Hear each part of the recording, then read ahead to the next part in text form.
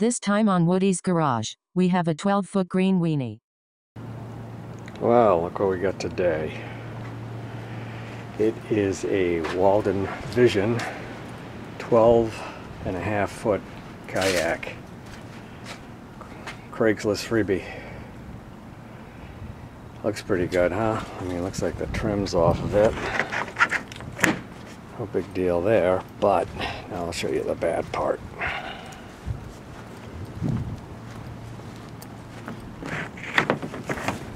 Smash. Big crack. But, let's get a better look at it. Gotta find out what kind of plastic this is. And you know, I bet something like fiberglass would hold up for a while. Actually, I got a 10 foot uh, loon made out of PVC, is it plastic?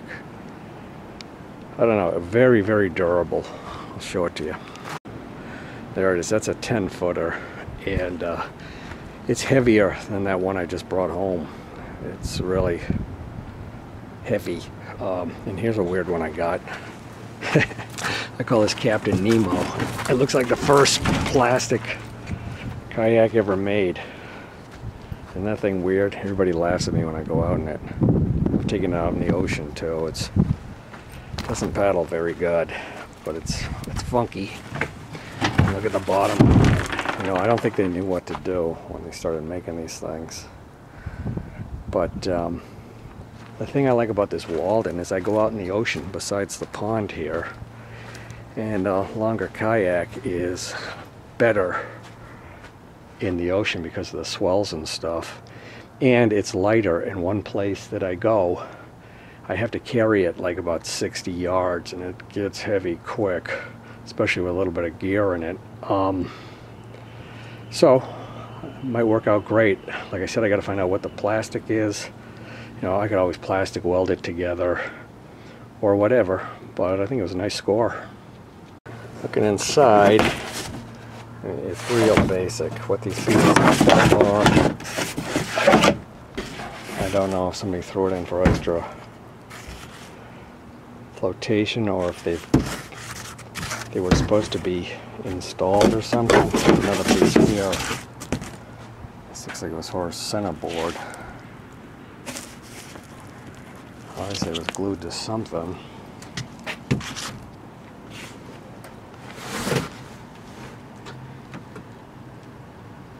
Uh, share leaves. Oh, a nice echo in here too. Hello. But uh, you know, otherwise I don't know what would float it if it got swamped. So I got to look into that too. You know, maybe there was foam underneath the top. Don't know. Don't know if I can pull this whole thing out too. Looks like some screws and probably make for a better, easier repair. You know.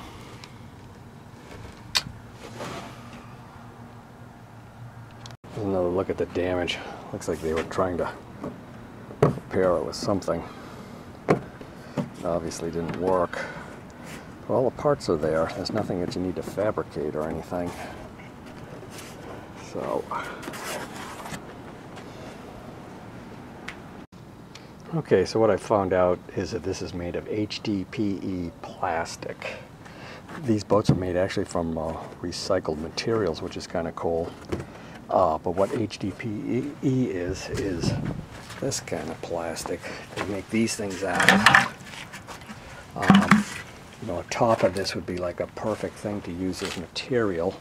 Or I think milk bottles are also made of that kind of plastic. So the only thing I'd need is really a good soldering iron head, something a little more, you know, sort of a point, it's like an iron.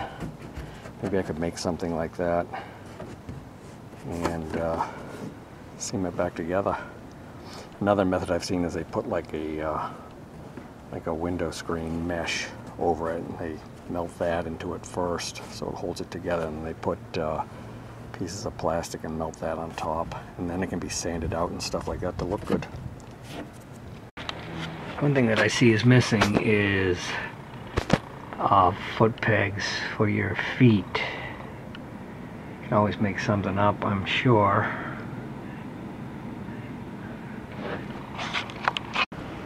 Yeah, we hose it down. Sometimes it gets a little dirtier than it was before.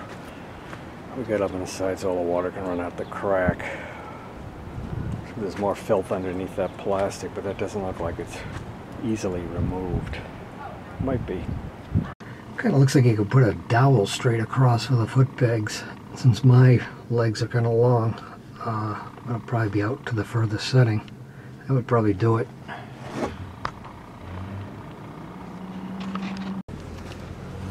Seems like the trim is only held on by these kind of one-way plastic jobs. You push them in and they're barbed so they can't come out. And the catch is, no, it goes all the way through here.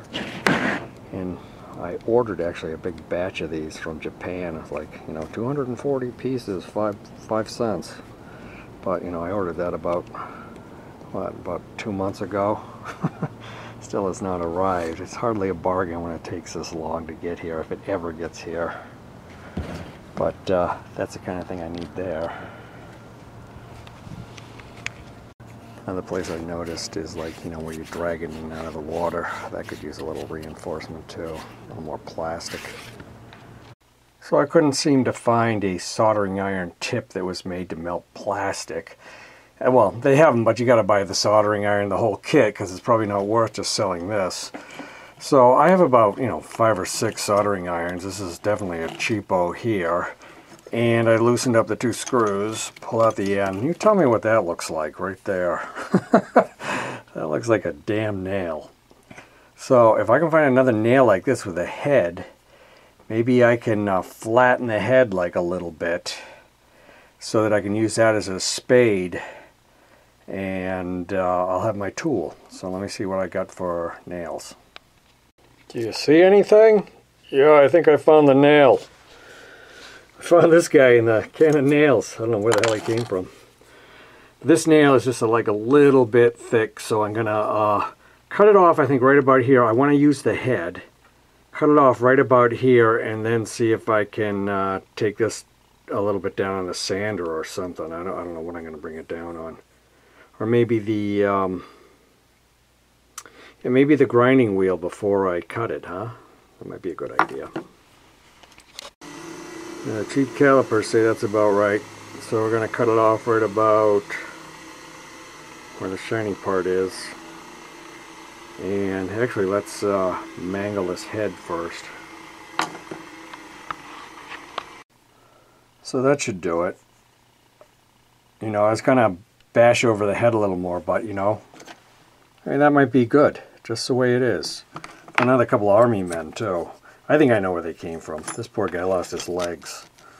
But um, the people that used to own this house, I've been in this house for 30 years, uh, they had this kid who like picked up stuff and just threw it into the pond. And when I first moved here, I pulled out so much junk that was like, you know, knee deep in the water, including a bowling ball, amongst other toys and rakes and bats and uh, hockey sticks and toys and like so much crap was in the pond. But anyway, that's where that came from. So now I'm going to cut this off here and uh, I think this might be good.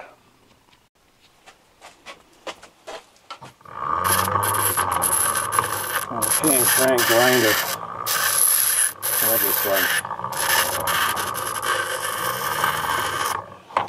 All right, let's see if it fits.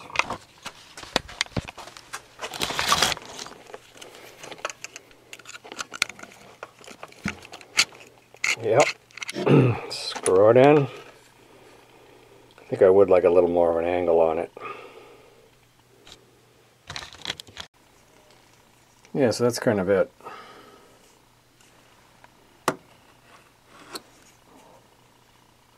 You know, it's crazy. I was going to experiment with that HDPE plastic, the milk bottles. I was like washing them out and cutting them up into little pieces so that you could um, cook them in like a toaster oven. I have a toaster oven that I just use for the shop here. and uh, you melt it out and you can make it into like a brick and then make you know anything you want out of it it's sandable etc i was going to make surfboard fins out of them but it was like kicking around for the longest time and i just threw it away about two weeks ago you know now that i could use it well there's always more milk right so i'm not going to do anything else today i got to think about it but now it's going right along the seam there Melted it nice. Another thing they sell in those kits is stainless steel screen. Now, I'm, you know, I'm not worried about regular screen rusting, but I'm wondering if it'll hold up as well. You know, because the screen would help. I'd love to do this from the inside too. I don't know if it's going to be possible. Unless I can get that black thing out or whatever, or turn into a one foot midget so I can walk in there. Yeah, that black plastic is right in the way. You how does this thing come out? These screws that I saw, I think only hold this, which is so flimsy. I think it's kind of glued in. Yeah, it is, so I'm going to have to do it from the outside. Yeah, it says right here, this product is made with recycled plastics. It's in Concord, Massachusetts, too. What do you know? Near, that's uh, where Walden Pond is, too. That's why it's called a Walden, I guess.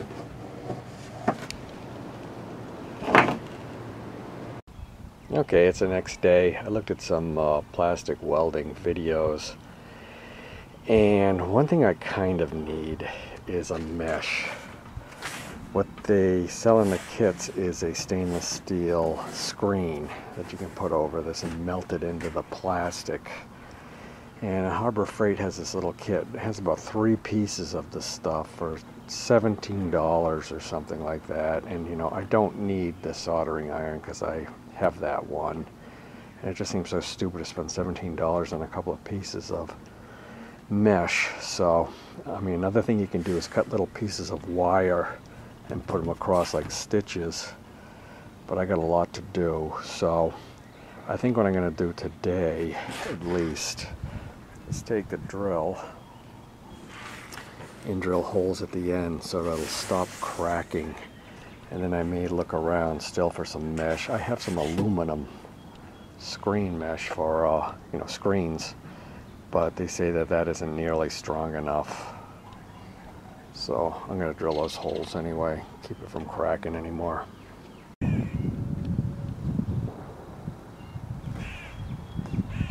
There's one more on the top.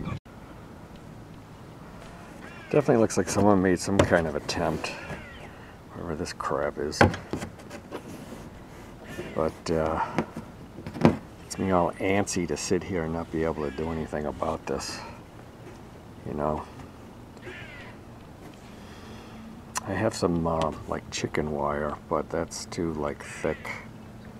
I don't want to make a mess of it.